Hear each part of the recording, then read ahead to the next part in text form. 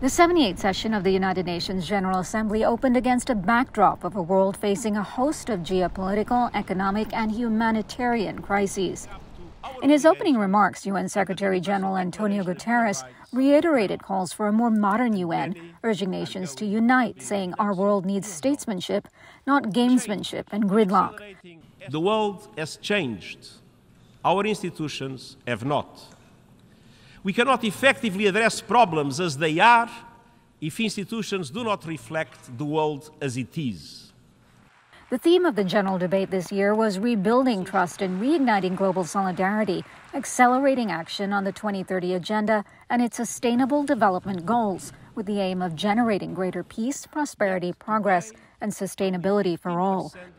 The conflict in Ukraine was high on the agenda U.S. President Joe Biden made his case that the world must stand behind Ukraine, saying, quote, if we allow Ukraine to be carved up, is the independence of any nation secure?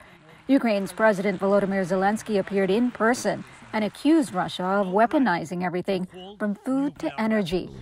Russia's Foreign Minister Sergei Lavrov forcefully denounced the U.S. and the West, saying they fuel conflict instead of promoting a true world order, but he barely mentioned Ukraine. Chinese Vice President Han Zheng made clear to the assembly that a ceasefire and peace talks are the only way forward to end Russia Ukraine tensions. On foreign policy, the vice president said China is committed to opening up itself wider to the world, but insisted on China's commitment to safeguarding its sovereign control.